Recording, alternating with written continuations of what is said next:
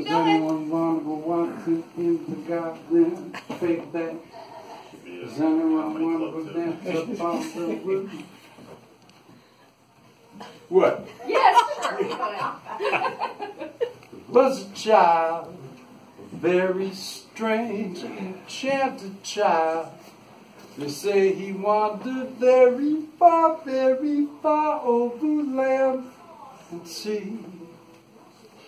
Special child who was sad of eyes, but very wise was he. Now everybody, doopa doopa doopa. then one day, magic day, he passed my way.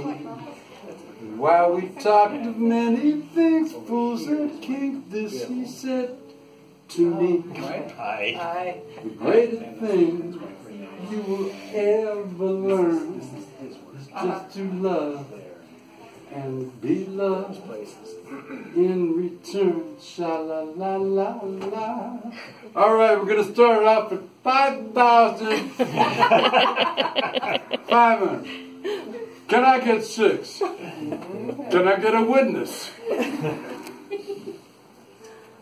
Thank you so much, you guys, for showing up. You're just my kind of people. And my garage got flooded. And I had some seriously damaged paintings. I had two inches of water in my garage. I called up my friend Jeff and I asked him, I said, You got a wet vac? He said, Yeah, I got one. I'll bring it over. He came over, and while he was in the garage with me, it was about 7 o'clock at night, because he worked that day, we were discussing what I could do to get my paintings up off the ground. Anyhow, I had a couple glasses of wine, because I was pretty stressed out. The next day at 5 o'clock in the morning, he said, Have you checked out the garage? Did you move things in the garage? I said, uh, No. He said, well, We better go check it out. I said, Oh Lord, it flooded again. I ran out to the garage and I looked in the corner where I used to have two inches of water. Then I turned around and my God, there was like a four by eight shelf that he came while I was asleep during the night and built.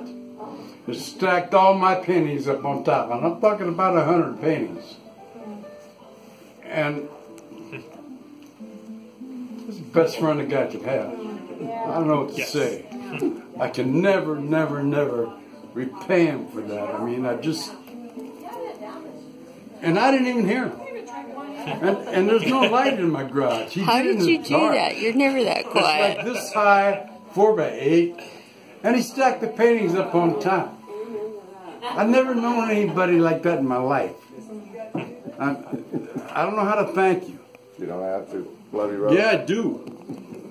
We'd like to thank you with this painting.